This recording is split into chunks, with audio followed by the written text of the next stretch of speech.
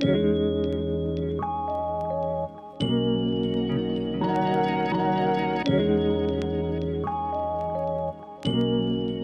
Bonjour à tous, j'espère que vous allez bien. On est aujourd'hui mercredi 24 août et j'ouvre un nouveau vlog. Ça y est, promis, c'est le retour des vlogs classiques. On a quitté le camping-car, on a repris le travail.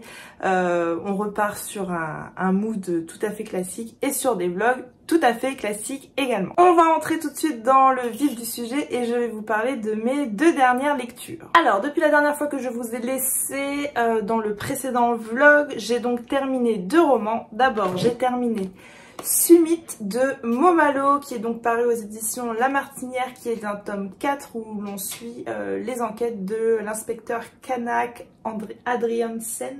Adriansen. Euh, et c'est un tome 4. Euh, ça je le lis dans le cadre du jury pour le festival sans nom, c'était mon avant-dernière lecture.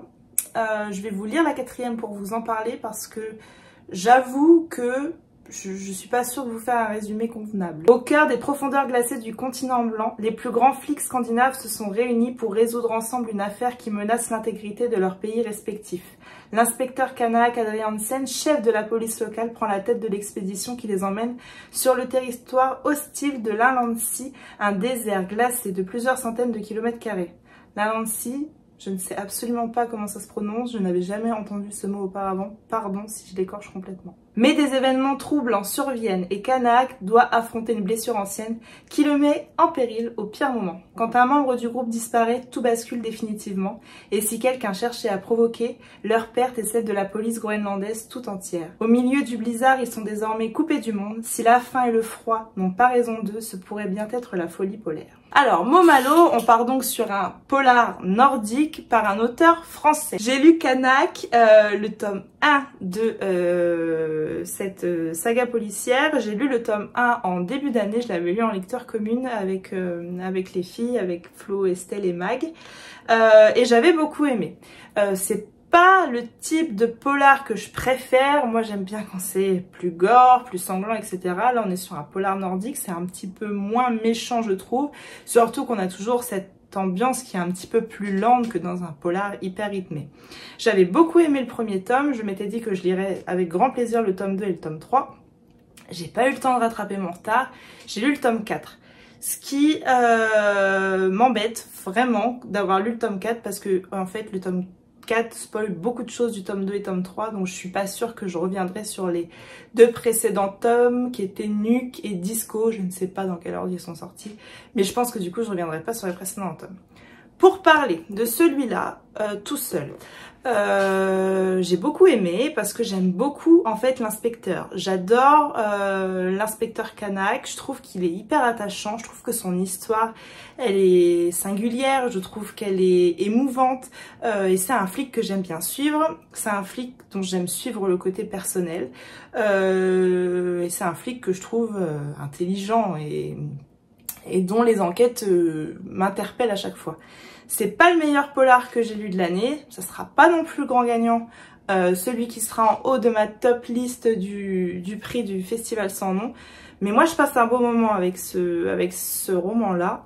Euh, et je passe toujours un beau moment avec Kanak. Euh, certains sur Instagram m'ont écrit en me disant qu'ils avaient été déçus, qu'ils trouvaient ça lent. Que ouais, ouais c'est un polar nordique en fait, c'est lent. Et j'en attends pas plus en fait quand je commence ce polar-là parce que je sais que ça va être une ambiance plutôt lente. Voilà, ma petite frustration, c'est que du coup, ouais, je vous ai dit, je lirai pas le tome 2, je lirai pas le tome 3. Euh, mais si vous aimez les polars nordiques, euh, je, trouve vraiment que ce flic, il est hyper attachant, que son histoire, elle est hyper singulière et que euh, je me suis vraiment attachée à lui, en fait. Peut-être que je vais essayer d'oublier ce que j'ai lu dans le tome 2 et le tome 3 et que je finirai par rattraper mon retard. J'en sais rien. Je sais pas si euh, Momalo il part sur un tome 5, un tome 6, un tome 7 et que, et que ce serait dommage que je, que je lise pas les deux précédents tomes si, euh, si on s'il continue encore des années et des années avec son enquêteur. Mais, euh, mais voilà ce que j'ai pensé de ce polar nordique que j'ai lu en plein été. Ensuite, pendant les vacances cet été, j'ai également terminé ma dernière épreuve non corrigée Charleston. J'avoue avoir terminé avec un petit pincement au cœur lorsque j'ai rendu euh, ma dernière chronique et donc j'ai fini mon année de lectrice Charleston avec le dernier roman de Sophie Jomain qui sortira le 18 octobre, pardon, qui est donc son roman de Noël et qui s'intitule Les personnages s'éveillent sous les flocons. Je vais vous faire un pitch très rapide. Euh, dans le dernier roman de Sophie Jomain, on suit donc une jeune femme qui s'appelle Lia Josserand et Lia Josserand, elle tient avec son père euh, depuis, euh, depuis toujours pour elle euh, un élevage de rennes près de Megève. c'est une très grande fierté. En fait, son père a construit ça avec sa mère qui a des origines scandinaves. et voilà, ils ont construit ce domaine, ils ont élevé les cerfs presque en pleine nature. c'est un petit, un petit cocon, un petit domaine familial où où on se sent bien dès qu'on commence le roman. Euh, sauf que évidemment, euh, tout n'est pas toujours tout rose dans leur quotidien. D'une part parce que le domaine y bat un peu de l'aile, que les fins de mois sont difficiles à boucler, que la crise sanitaire est venue un petit peu mettre en branle euh, euh, un équilibre qui n'était pas forcément déjà solide à la base. Et puis aussi parce que Lia a un petit garçon, euh, un petit garçon qui a euh, un handicap physique et qui et que c'est pas facile tous les jours. Alors ça c'est l'histoire dans laquelle on arrive quand on commence le roman, c'est le décor qui est planté. Et puis un jour arrivent deux hôtes dans, dans, ce domaine, arrive d'abord un certain un certain homme qui se, qui se dit être le Père Noël et qui vient ici pour que ses reines puissent se reposer tranquillement. Et puis il y a un autre homme qui arrive, un homme qui se fait passer pour quelqu'un qui est de passage, qui vient un petit peu euh, se reposer, qui se fait passer pour un musicien il me semble, et qui en fait est un grand chef étoilé qui n'est pas là par hasard parce qu'en fait il semblerait que son banquier euh, lui ait parlé des difficultés financières du domaine et qu'il et que le banquier leur a dit, enfin lui a dit que euh, très certainement il arriverait à leur acheter des rennes pour en faire de la viande pour son restaurant. Sauf que l'IA elle est formellement attachée aux traditions que les rennes ici ce sont des animaux euh, domestiques et pas des animaux qui sont euh, voués à, l'abattoir et, à finir dans une assiette. Voilà, ça c'est le pitch général du roman, je vous en parle assez brièvement, ça sortira au mois d'octobre, je vous en reparlerai un petit peu plus au moment de sa sortie et, euh, je vous inviterai évidemment à retrouver ma chronique sur Instagram. Ce que je peux vous dire c'est que alors je dis ça en fait depuis un bout de temps, je suis pas roman de Noël mais plus ça va en fait. Et en fait eh ben, eh ben j'aime bien, je, je, je, passe un excellent moment. Euh, euh, au début ça part, c'est un peu loufoque avec ce, ce, Père Noël qui se prend pour, pour le Père Noël justement et qui euh, qu'on a déjà rencontré hein, dans Les Tortues, euh, le, roman de Noël de l'année dernière de Sophie. Euh, tu te dis ouais qu'est-ce que c'est que ça, qu'est-ce que ça va être cette histoire? Tu vois arriver les grandes lignes, évidemment, c'est un roman de Noël, tu devines certains liens qui vont se faire entre certains personnages, etc. Euh, et pourtant, je finis ce roman, les larmes plein les yeux, le cœur serré, et je me dis, oh, mais elle était trop belle cette histoire, et, euh, et elle m'a fait trop du bien en fait cette histoire, malgré que je la lis et qu'il fait 36 degrés dehors, et que ben, dans mon cœur il faisait très froid, j'étais très bien dans ce domaine, euh, et, j'ai vraiment adoré ma lecture. Si vous aimez les romans de Noël, je pense sincèrement que celui-ci ne pourra pas vous décevoir. Euh, si vous avez du mal avec les romans de Noël comme moi, eh ben peut-être qu'il pourra vous surprendre, celui-ci. Mais je vous en reparlerai plus en détail le 18 octobre 2022 lorsqu'il sortira dans les rayons de votre librairie préférée. Niveau lecture en cours sur Audible, j'écoute de Si Bonne Mère de Céline de Rohani. Euh, j'ai commencé à l'écouter début juillet et puis quand je suis partie en vacances, je n'ai pas du tout écouté mon livre audio. Du coup, là, je viens de le reprendre à zéro. J'ai eu beaucoup de mal à rentrer dans l'histoire au mois de juillet quand je l'ai écouté. Alors, est-ce que c'est parce que j'étais pas assez attentive au moment où je mettais en, route mon livre audio ou pas? Euh, Voilà, je, repars à zéro. J'ai recommencé euh, avant-hier à le mettre en route. Donc euh, voilà au niveau de la lecture pour l'audio, c'est donc un thriller. Et au niveau de la lecture papier, je lis Persona de Maxime Girardot. Euh, le huitième roman qu'il me reste à lire pour le festival sans nom, c'est donc Ego de Maxime Girardot. Et Magda a donc lu Persona et Ego. Et Magda m'a dit, ça serait quand même dommage que tu lises pas Persona, il est incroyable, Ego est incroyable Je sais pas pourquoi, mais je, pense que c'est son grand gagnant à Magda. quand je, quand je l'entends en parler, on n'en a pas parlé du tout de notre classement avec Magda, hein, mais, euh, mais quand j'en entends... Ah, j'ai trop de mal à parler aujourd'hui, c'est... Enfin, c'est pas aujourd'hui en fait, j'ai trop de mal à parler. Bref, quand j'entends Magda m'en parler, euh, je me dis, je vais lire Persona. Donc, j'ai attaqué Persona de Maxime Gérardot. Effectivement, pour le moment, j'aime beaucoup, euh, mais je vous ferai l'update euh, demain ou après-demain quand je l'aurai terminé. Je pense que je l'aurai terminé ce soir. Euh, je découvre une plume vraiment que j'aime beaucoup, mais je vous en reparlerai demain ou vendredi. Alors que je trouve une solution pour ce siège Sinon, j'ai fait une petite réception la semaine dernière et je vais l'ouvrir tout de suite avec vous. Ça me vient, je crois, des éditions Hauteville. Yeah et j'ai donc pris dans le catalogue Hauteville, euh, j'ai été raisonnable parce qu'il y avait beaucoup de choses qui m'intéressaient dans le catalogue Hauteville, mais j'ai décidé de, n'en prendre qu'un seul. Et euh, j'ai pris un livre d'une autrice qui m'a déjà convaincue par ses deux précédents romans. J'en attends donc beaucoup de celui-ci et j'ai donc pris Le Code Rose de Kate Je vous ai déjà parlé, il me semble, sur cette chaîne euh, de ces deux précédents romans qui sont Le Réseau Alice et La Chasseresse. Euh, le Réseau Alice c'était il y a deux ans, La Chasseresse c'était l'année dernière, j'ai lu les deux l'année dernière. J'avais eu un énorme coup de cœur pour La Chasseresse. Euh, j'avais trouvé tous ces personnages durant la Seconde Guerre mondiale absolument incroyables. vraiment un très très gros coup de cœur pour La Chasseresse. J'ai beaucoup aimé également Le Réseau Alice un peu moins que la chasseresse. Je crois pas que je dirais que j'ai eu un coup de cœur pour le réseau Alice, mais j'ai beaucoup aimé aussi. Du coup, quand j'ai vu Ketkin, c'est presque une valeur sûre pour moi, je me suis dit, je fonce et je prends le code rose. Alors que la Grande-Bretagne se prépare à combattre les nazis, trois femmes très différentes répondent à l'appel d'un mystérieux domaine, Bletchley Park, où les cerveaux les plus brillants sont formés à casser les codes de l'armée allemande.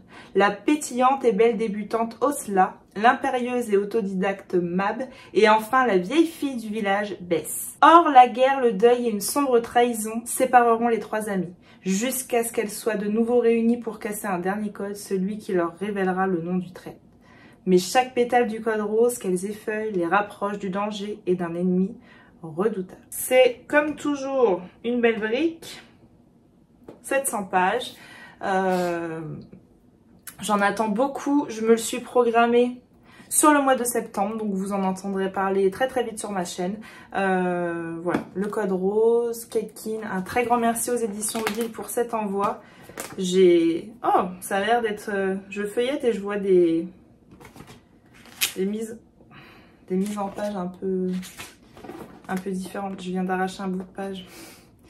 Est-ce que j'ai envie de me mettre une claque? Tout à fait. Toujours très très très très souple les livres de chez Hauteville. J'aime beaucoup la, J'aime beaucoup leurs livres parce que je trouve qu'ils sont hyper agréables à lire même quand ce sont des grosses briques. Enfin bref, un très grand merci Hauteville pour cet envoi. Euh, j'en attends beaucoup de celui-ci. Donc euh, il a intérêt à être à la hauteur de ces deux précédents. Voilà, c'est tout ce que j'avais à vous dire. Pour aujourd'hui, je vous reprends plus tard.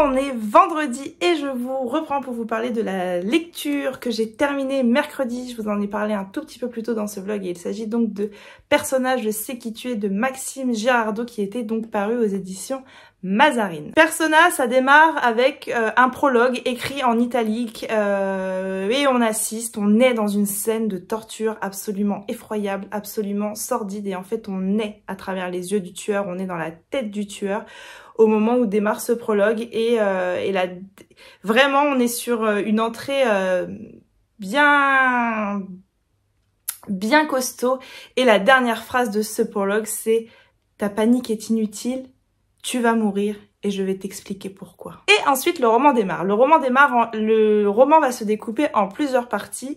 Le premier chapitre, on va suivre découvrir un homme qui s'appelle Caldo. Alors c'est un homme très puissant, un homme très charismatique, euh, un connard j'ai envie de dire. Euh, voilà, c'est l'homme qui euh, est très haut placé dans sa société, qui traite ses stagiaires, ses assistantes comme de la merde, qui les use et qui au bout de quelques semaines elles partent toutes un peu en burn-out.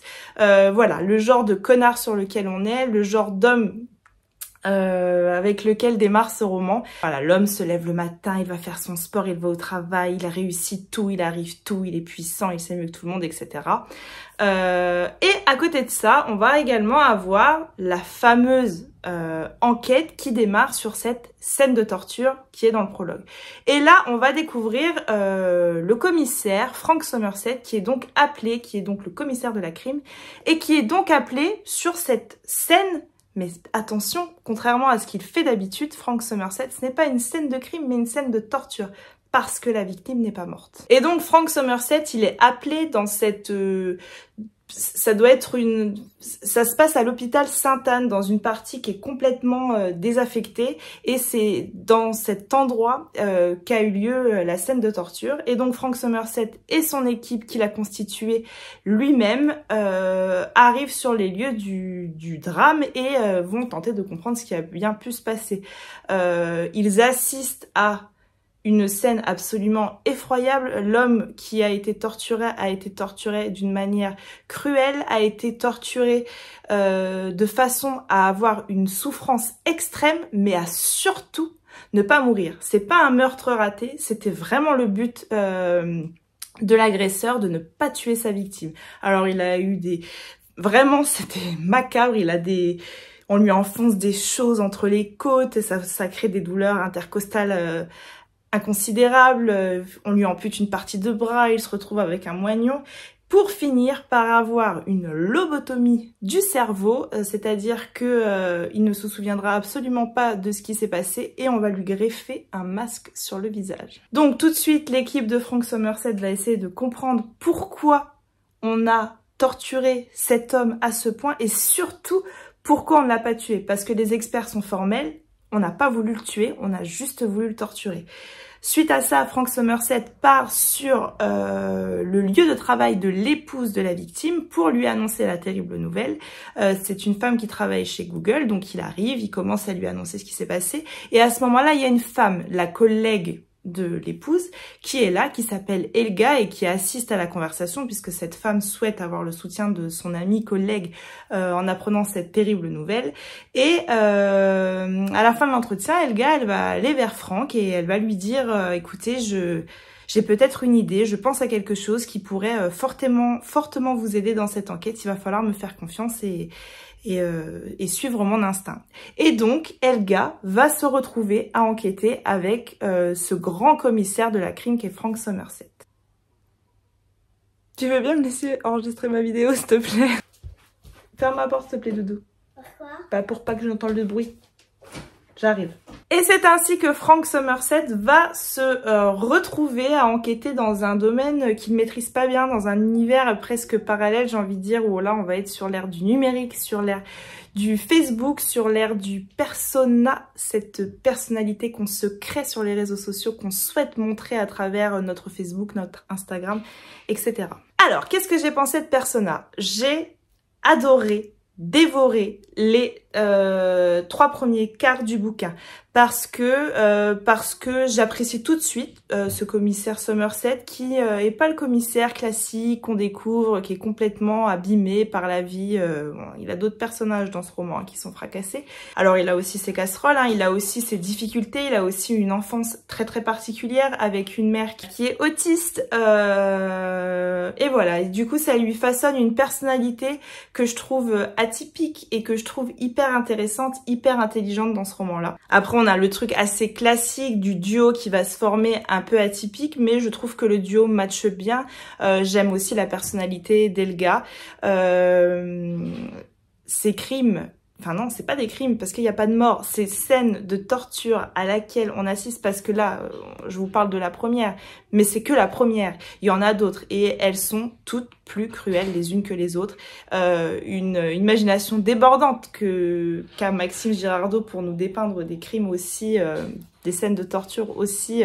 Vraiment, quand je repense à certaines scènes, j'ai fait une pause au bout d'un moment et dans, dans, le bouquin parce que je me suis dit, ah, je devais euh, le lire en étant en train de faire des grimaces, en fermant les yeux avec des gouttes de sueur grosses comme ça qui commençaient à perler sur le côté, je pense.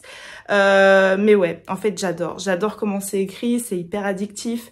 Euh, je suis prise au trip, je suis prise par cette histoire, j'essaie de comprendre qu'est-ce qui qui peut bien se cacher euh, derrière ce, meurtrier? Est-ce que c'est cet homme, ce connard qu'on nous présente dès le début du livre? En même temps, c'est trop facile et en même temps, ça expliquerait beaucoup de choses. Voilà. Je me demande où on va. Arrivé à peu près aux trois quarts du bouquin, on comprend quelque chose euh, d'essentiel qui amènera à la résolution. Et en fait, le dernier quart du bouquin, c'est l'explication du pourquoi, du comment. Euh, il est parti un peu loin pour moi. Maxime Girardot sur euh, l'explication du bouquin, ça se tient, ça c'est une bonne idée. Je dis pas que c'est mauvais ni que c'est bon. Je dis que pour moi ça part un peu loin, euh, mais que c'est pas mauvais et que en même temps, eh ben c'est un côté hyper attendu, inattendu. Euh, ça a un côté où tu peux pas l'avoir arrivé cette fin, c'est pas possible. Et du fait que on peut pas prévoir cette fin, bah ça rattrape le fait que pour moi ça part un peu loin. On n'est pas sur un coup de cœur, mais on est sur un très très bon thriller. On est sur une plume que je découvre, que j'aime beaucoup. Moi j'aime les chapitres courts, j'aime quand c'est incisif, j'aime quand euh, l'auteur ne nous fait pas de cadeaux dans ces scènes de crime, dans ces scènes de torture, quand il nous met mal à l'aise, quand il nous torture. Voilà, j'adore et ça remplit euh, tous les codes de ce que j'aime dans un thriller. Euh, je vous dis, à certains moments il a fallu que je je fasse une pause, que je digère ce que j'étais en train de lire, parce que vraiment, Persona, c'est du costaud. Du coup, j'ai enchaîné avec Ego, toujours de Maxime Gérardot, mais euh, cette fois-ci édité aux éditions Fayard Noir. Euh, on va donc retrouver dans ce tome euh, Elga, on va donc retrouver dans ce tome Frank Somerset. voilà, Magda m'avait dit, tu apprécieras plus ce tome-là si tu as lu le premier tome, et je pense qu'elle a entièrement raison. Donc voilà, j'ai attaqué hier soir. J'en suis à la page 100, avec une très beau marque-page que ma copine Claire m'a envoyé. Euh, J'en suis à la page 165. Écoutez, pour l'instant, j'aime beaucoup. Ça se lit. C'est ma dernière lecture dans le cadre du jury pour le festival sans nom. Pour l'instant, j'ai un top 3 en tête. Viendra-t-il euh, bousculer quelqu'un de mon top 3 On verra ça. Euh, écoutez, pour l'instant, j'aime beaucoup. Euh, je peux vous lire un petit bout de la quatrième. Dans les décombres d'un violent carambolage en plein Paris, la police découvre des morceaux de corps affreusement mutilés. Contrairement à ses collègues, la capitaine Laurence Milo, chargée de leur identification, doute que ces morts soient liés à un règlement de compte. Soupçon que confirme l'appel de son ancien patron. Après des mois de silence, le commissaire Frank Somerset refait surface pour lui demander un service identifié officieusement un jeune inconnu mêlé à la disparition suspecte du fondateur d'une start-up nommée Ego. Voilà pour ma lecture en cours. Je pense pas que je l'aurai fini dans ce vlog et que je pourrais vous faire l'update complet. Donc il faudra attendre le prochain vlog et, euh, et voilà. Sinon, hier, j'ai fait une petite réception. Une réception que j'attends depuis le mois de juillet. Je ne sais absolument pas ce qui s'est passé avec le courrier. Je ne sais absolument pas ce qui s'est passé. Si ça s'est perdu au centre de tri, si ça a mis du temps à arriver. Le... Ouais, ça doit faire euh, un mois et demi qu'il est parti des éditions Plomb et je l'ai reçu seulement hier. Je suis embêtée parce qu'entre temps, les éditions Plomb normalement m'ont fait envoyer un deuxième roman que lui non plus pour l'instant j'ai pas reçu. Euh, c'est compliqué. Et je l'attendais tellement pourtant, ce roman-là. Et donc j'ai reçu de la part des éditions Plan et de Julien Dufresne-Lamy Les Bienheureux, son roman pour la rentrée littéraire. Des mots bleus, ceux qui rendent les gens heureux. À deux ans, Thomas parle à peine mais reproduit 25 sons d'animaux. Enzo a du mal à s'exprimer mais a appris seul à parler anglais. Axel adore le monde qui l'entoure mais sort rarement sans ses protections anti-bruit. Quant à Marius, il ne sait pas cuisiner mais connaît par cœur des centaines de recettes. Il y a aussi Marie, Arthur, Malena, Romain et Svetlana, des êtres uniques, des êtres elfiques dont la vie est un roman, un roman inventif et magique qui raconte leur enfance autant que leur différence, le syndrome de Williams Buren. C'est un roman qui est plutôt court, qui fait 235 pages euh, que je vais lire euh, sur le mois de septembre, que je vais m'empresser de lire sur le mois de septembre.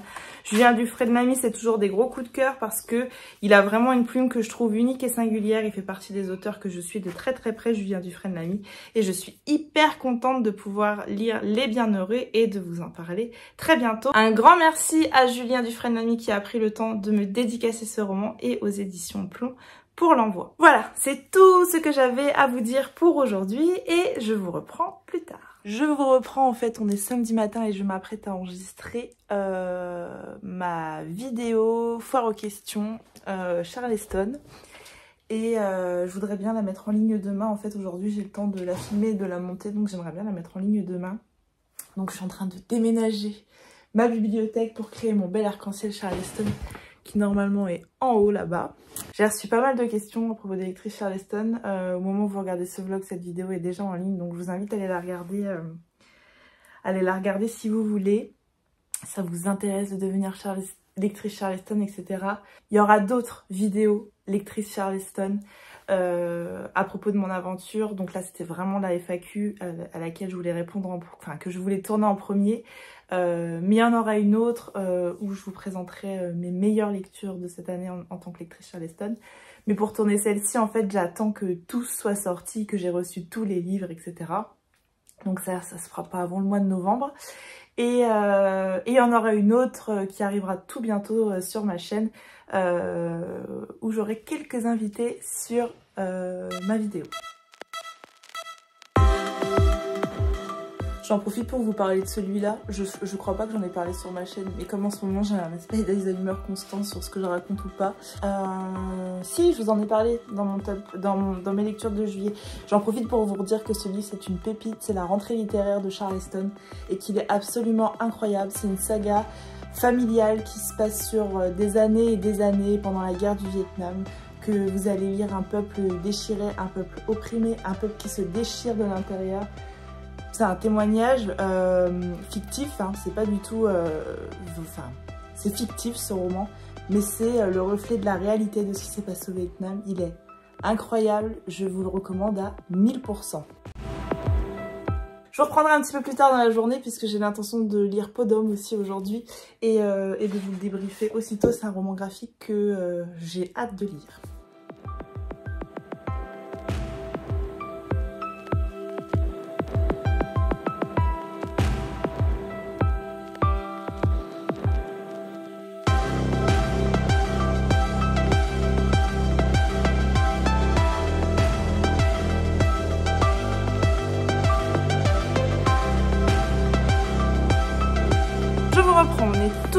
Samedi, je viens de terminer à l'instant le montage de ma vidéo euh, lectrice Charleston que je souhaite sortir demain. Je viens de finir ma miniature, etc. Je suis contente. Euh, une bonne chose de fait, ça m'a pris beaucoup plus de temps que ce que je ne l'aurais pensé euh, mais bref, là n'est pas la question. Euh, J'ai donc lu, comme vous avez pu voir un tout petit peu avant, Podum, qui est donc un roman graphique qui est paru aux éditions Glénat. Il est paru il y a un petit bout de temps maintenant déjà, et qui est donc euh, illustré et mis en scène, etc. par Hubert et Zanzim.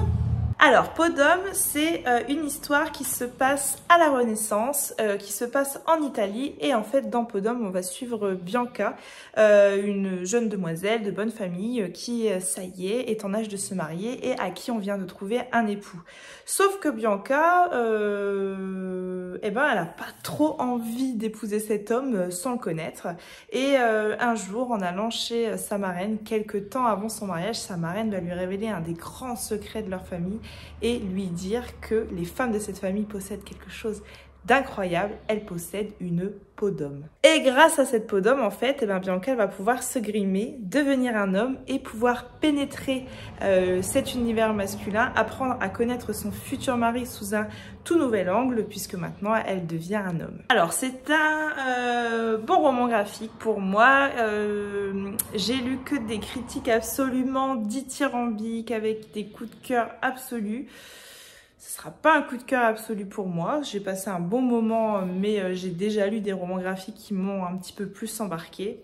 Euh, qu'est-ce que je peux vous dire à propos de Podom Je peux vous dire que euh, bah, ça va parler en fait de, de, ces différences entre les hommes et les femmes qui étaient faites à cette époque-là. Et, et c'est raconté un petit peu sous forme, euh, sous forme d'une fable, d'un conte, euh, où euh, Bianca, elle ne peut pas faire la même chose qu'un homme, où les femmes ne peuvent pas faire la même chose que les hommes, où une femme qui va se tromper son mari va être la grosse putain du village qu'on va fouetter, battre, à qui on va raser la tête alors qu'un homme qui fait la même chose, eh ben c'est pas grave. Pourquoi il y avait autant de différences qui étaient faites à l'époque? Ça parle de sexualité beaucoup, ça parle de, de cette sexualité que n'ont pas le droit d'avoir les femmes alors que les hommes, eux, peuvent s'en donner à cœur joie, etc. Ça parle d'homosexualité, ça parle aussi de fanatisme avec la religion qui parfois endoctrinait un petit peu à l'époque, etc. Les dessins, ils sont plutôt euh, ils sont plutôt simples mais efficaces. Euh, on ne confond pas euh, Pierre-Paul avec Jacques. je trouve que lorsque Bianca devient Lorenzo et qu'elle se transforme en homme, ça se fait... Enfin, c'est très clair, très limpide. Je trouve que c'est vraiment un dessin qui est simple mais que je trouve efficace. Voilà, en gros, ce que je peux vous dire de Podom. Podom, c'est un euh, roman graphique qui parle des conventions absurdes, qui va... Euh, qui pèse en fait sur, euh, sur les femmes de l'époque, avec une héroïne plutôt attachante qui est Bianca, qui est plutôt avant-gardiste. Voilà. Je passe un bon moment, pas un excellent moment non plus. Cette bande dessinée ne me laissera pas un souvenir intarissable. Il était au prix de 27 euros ce roman graphique, je trouve qu'il n'est pas donné. Voilà ce que j'ai pensé de Podum, d'Hubert et Zanzim. Sinon niveau lecture, je suis toujours dans Ego de Maxime Girardot. J'ai un petit peu avancé, je sais pas si je continuerai à lire aujourd'hui, j'en suis à la page 285. Un peu comme son premier roman, ça prend euh, une tournure que tu peux pas spécialement deviner en lisant la quatrième. Euh, la tournure là me plaît plutôt pas mal, j'attends d'en savoir plus pour vous en dire davantage. Je crois pas que je l'aurai fini, je voudrais clôturer ce vlog demain, je pense pas que je fini, mais écoutez, on verra, peut-être que je vous en reparlerai demain. Voilà, c'est tout ce que j'avais à vous dire pour aujourd'hui et je vous reprends plus tard.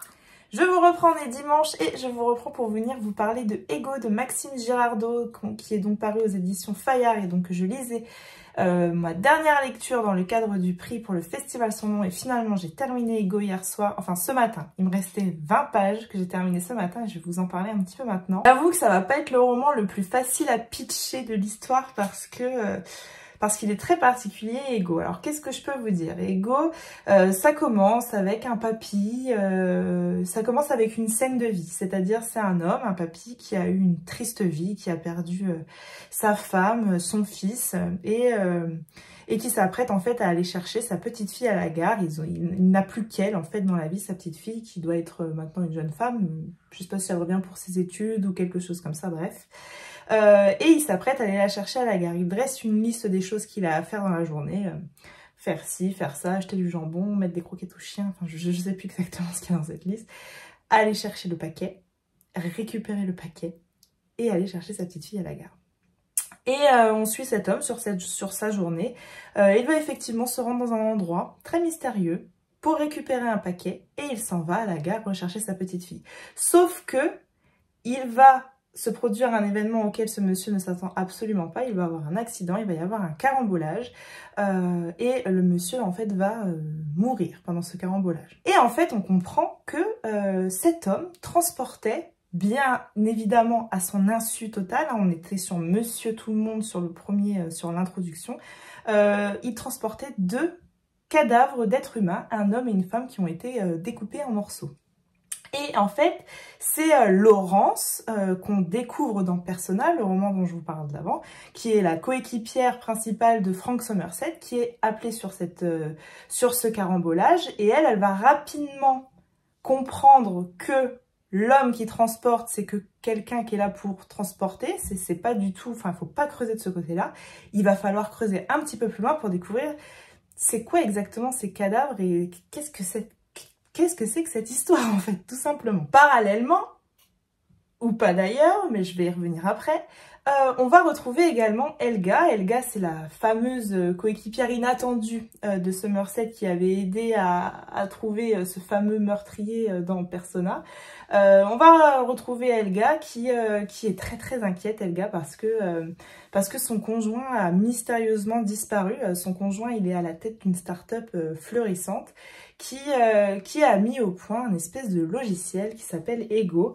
Et il est parti aux États-Unis et depuis qu'il a atterri, il ne donne plus aucune nouvelle à Elga et Elga s'inquiète beaucoup et du coup elle va demander à Ariane, euh, son amie qui avait également aidé euh, à la résolution de l'enquête dans Persona, euh, grâce à son logiciel qu'elle a créé, d'essayer d'identifier, de retrouver son conjoint. Et toujours parallèlement à ça ou pas, Frank Somerset va demander à Laurence, la capitaine, euh, la capitaine qui enquête, euh, il lui envoie une photo en lui disant euh, il faut que tu m'identifies cet homme, il semblerait qu'il soit lié à la disparition du, du, conjoint d'Elga. Voilà. Très très difficile à pitcher, je vous jure que si vous l'avez lu, vous devez comprendre à quel point c'est compliqué d'en parler. Donc voilà, il y a toute cette enquête qui se met en place autour de, ces cadavres qui sont retrouvés, autour de euh, cet homme qui disparaît mystérieusement aux états unis et puis ensuite d'autres personnages importants qui vont disparaître aussi mystérieusement. Euh, Maxime Girardot, il fait un choix très perturbant sur la structure de son roman. Il fait le choix de donner la parole à tout le monde. C'est-à-dire que euh, les chapitres commencent, tu sais pas forcément qui c'est qui parle, euh, des fois tu ne connais même pas encore le personnage qui est en train de prendre la parole. Euh, voilà, en fait, il te livre plein de morceaux de l'histoire, plein de pièces du puzzle, en fait, différentes, où à chaque fois tu termines avec une autre pièce dans les mains, mais qui s'emboîte pas avec la première. Tu c'est très psychologique. Euh, tu comprends pas toujours ce qui se passe. Alors, je, ne dis pas que c'est un mauvais choix, mais je dis que c'est très perturbant et très frustrant pour la lectrice que je suis qui aime bien comprendre euh, les choses.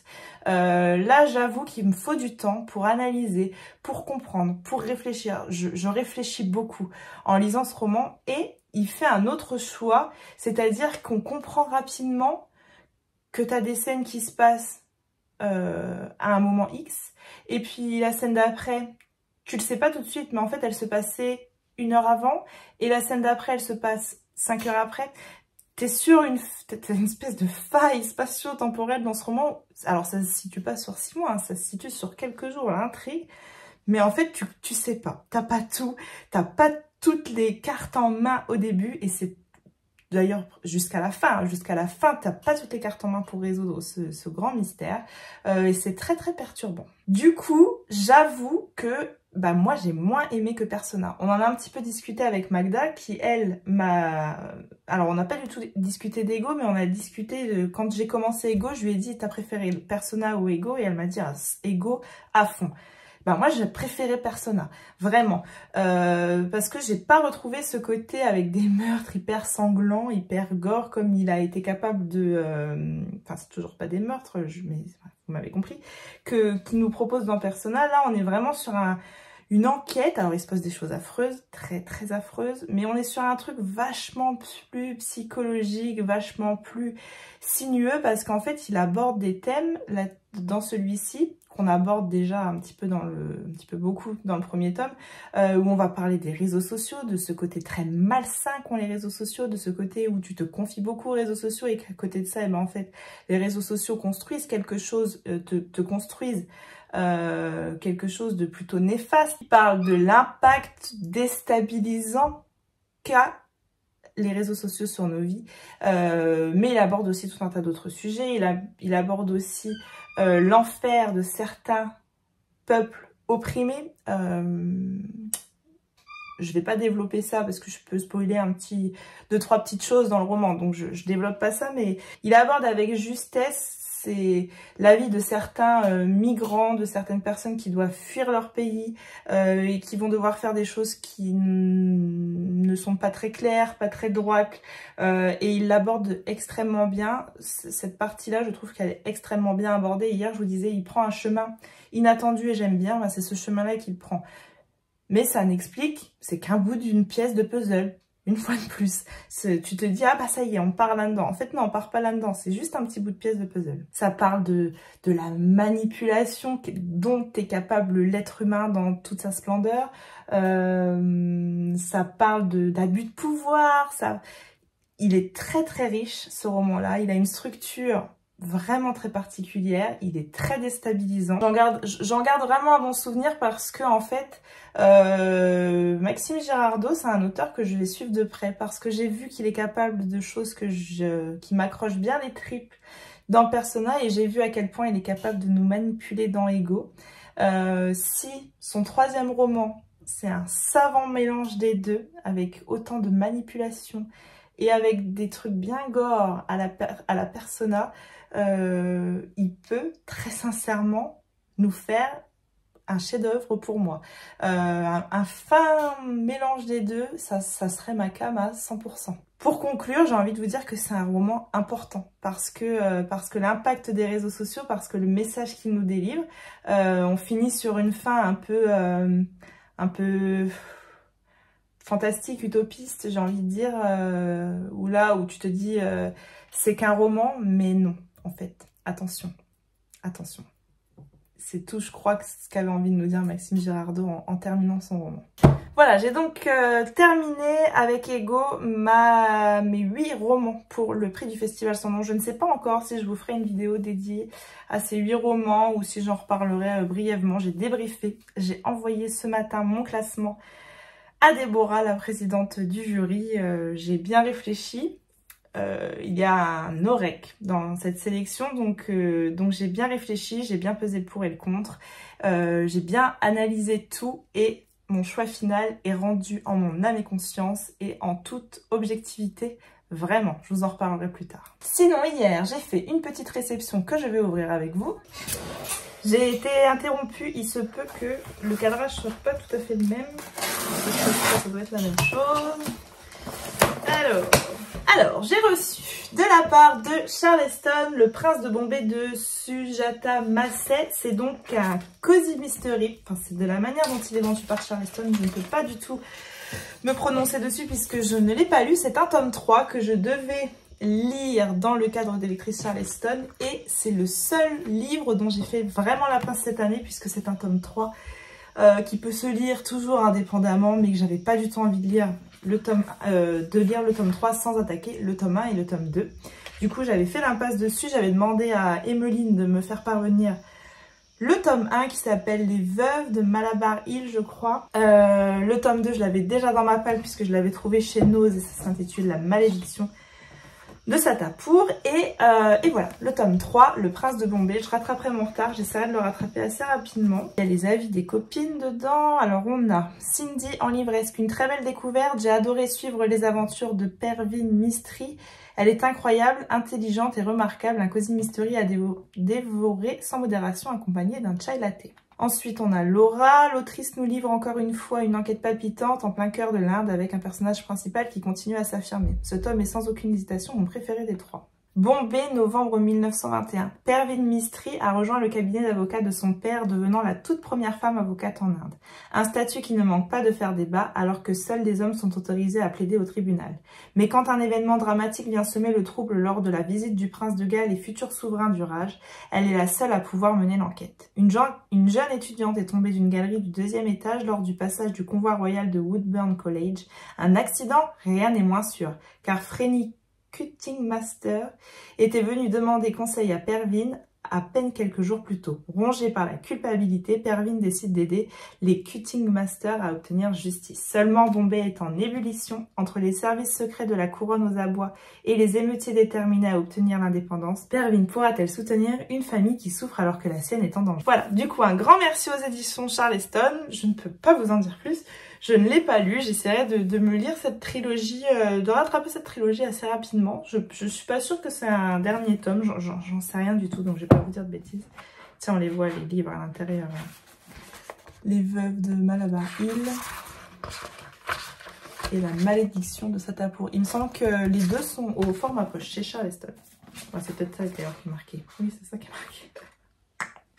La reine du cozy mystery indien. Euh, Ensuite, j'attendais un autre colis que je pensais avoir euh, hier et puis finalement j'ai pas pu du tout aller le chercher hier. Donc, je voulais attendre ce colis pour vous parler d'un truc. Vous l'avez déjà vu si vous me suivez sur Instagram. Euh, j'ai eu l'honneur, le privilège d'être choisie par la maison d'édition euh, les éditions Hurlevent, donc par euh, Sarah, Mrs. Book Yarmonde, Alexia, My Book Vision et Marion, par un soir d'automne, qui sont les trois créatrices de qui sont pardon les trois créatrices de cette toute jeune maison d'édition, euh, de faire partie des voix des Hurlevent. Donc les voix, c'est une lectrice, on est euh, une dizaine de voix à avoir été sélectionnées et donc ça va être un petit peu sur le même principe que Charleston, c'est-à-dire que on va recevoir les ENC avant, on doit les lire, on doit rendre un avis, euh, etc. J'ai accepté avec grand plaisir pour plusieurs raisons. La première raison, c'est que j'ai très envie de soutenir cette maison d'édition. Je vous ai déjà parlé précédemment euh, de Sarah et de son roman euh, Le cœur singulier de Millie Davis que j'avais beaucoup aimé et que j'avais trouvé vraiment un cran au-dessus et que j'avais vraiment trouvé très digne d'être sélectionné, d'être publié euh, par une maison d'édition. Et j'ai accepté aussi d'autre part parce que euh, je crois en cette maison d'édition et je crois en leur ligne éditoriale qui m'inspire euh, beaucoup. Et, et voilà, c'est un grand grand honneur en fait d'avoir été choisie et d'être une des premières voix des éditions dans le vent parce que je suis sûre que c'est une maison d'édition qui fera un sacré chemin et que quand on en parlera dans 20 ans, je pourrais dire que j'étais là au début. Voilà, du coup, je devais recevoir un colis. Vous verrez ça dans le prochain vlog. Voilà, je tenais juste à refaire une petite parenthèse, à l'annoncer officiellement ici et vous dire à quel point je suis contente et honorée. Je, je, suis très frustrée que mon aventure Charleston se touche à sa fin euh, et, d'avoir cette nouvelle aventure qui s'annonce, ben, ça m'a mis du baume au cœur en fait au moment où les filles m'ont proposé de, les rejoindre et j'étais euh, hyper contente. Un groupe encore très hétéroclite parmi les lectrices, il y en a que je connais, il y en a que je connais pas du tout, euh, mais voilà, ça a l'air d'être un groupe qui va pas mal fonctionner je pense, donc, donc voilà, j'ai hâte de lire leurs premières ENC. Puis on va pas se mentir, ça sera un planning beaucoup plus light qu'avec Charleston et ça me, ça me convient très bien parce que j'ai beaucoup de, livres à lire en retard que, qui me font très envie et auxquels j'ai pas pu me accordé de temps ces derniers mois, donc, euh, donc voilà. Si Alexia, Marion ou Sarah, si l'une d'entre vous passe par là, je vous remercie vraiment très sincèrement du fond du cœur. J'ai été très très touchée par votre demande et j'espère que je serai une voix digne de ce nom. En parlant de ça, ma prochaine lecture, c'est une épreuve non corrigée pour les éditions Hurlevent. Euh, je ne peux rien vous dire pour le moment, c'est hyper secret et j'aime en fait ce, fait ce, ce côté où c'est vraiment très mystérieux et où tu es mis dans la confidence, etc Euh, donc voilà, je vais commencer une nouvelle épreuve non corrigée pour les éditions Lambert. Je vous en reparlerai un petit peu plus dans le prochain vlog. Pour le moment, je ne peux rien vous dire de plus. Voilà, je vais clôturer ce vlog ici comme d'habitude. J'espère qu'il vous a plu. Comme d'habitude, je vous remercie d'avoir euh, regardé l'intégralité de ce vlog si vous êtes arrivé jusque là. Je vous remercie d'avance si vous avez pensé à le liker, à le commenter ou à partager votre instant de visionnage sur Instagram. Moi, je vous retrouve la semaine prochaine pour un nouveau vlog. Je vous fais des bisous. À bientôt. Bye